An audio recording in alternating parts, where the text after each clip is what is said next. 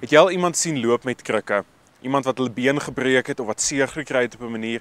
Het jy al gesien hoe ongemaklik is hulle? Hulle kan nie vinnig loop nie. Hulle sukkel om by trappe op te kom. Dis asof alles wat hulle doen so 'n effort is. Dis moeilik. Dit lyk seer. En as mens hierdie persone sien, dan kry mens hulle sommer jammer.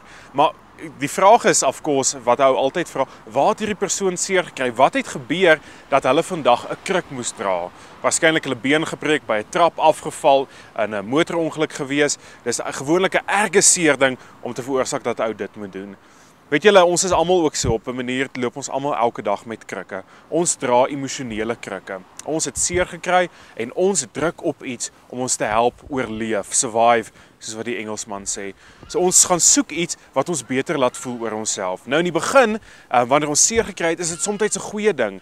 Maar soos tyd aanhou en ons hanteer nie hierdie seer in ons lewe nie en ons hanteer nie hierdie krik nie, hou ons aanleen op hierdie ding. Ons hou aan en ons hou aan En dan voor ons agterkom is dit 'n jaar, 2 jaar, 3 jaar wat ons alleen op hierdie kruk in ons lewe, emosionele krikke.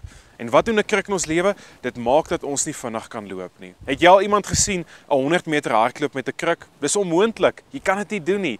En net so in die wedloop van die lewe, soos wat Paulus daaroor praat. Ek kan nie 100% lewe as ek met 'n kruk loop nie. Ek kan nie hardloop en ek kan nie doen wat God wil hê ek moet doen as ek nie die emosionele kruk in my lewe afgooi nie. As ek nie daai seer kry wat daar is aanspreek nie. Weet julle die Here is getrou. Die Here is altyd daar vir ons. En as ek dink aan 'n gedeelte in die Bybel, Psalm 46 vers 2, vir die mooiste gedeelte. Die Here wat sê God is vir ons 'n toevlug en 'n beskerming en hy was nog altyd bereid om ons te help in ons nood. As jy krik in jou lewe het en jy sukkel en jy um, druk elke dag daarop, wil jy nie jou krik vir die Here gee nie.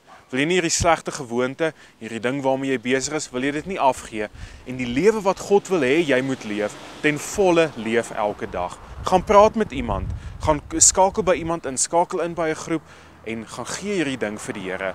Vra vir jouself vandag die vraag af: Is hierdie krik waarmee ek loop, is dit God se beste vir my?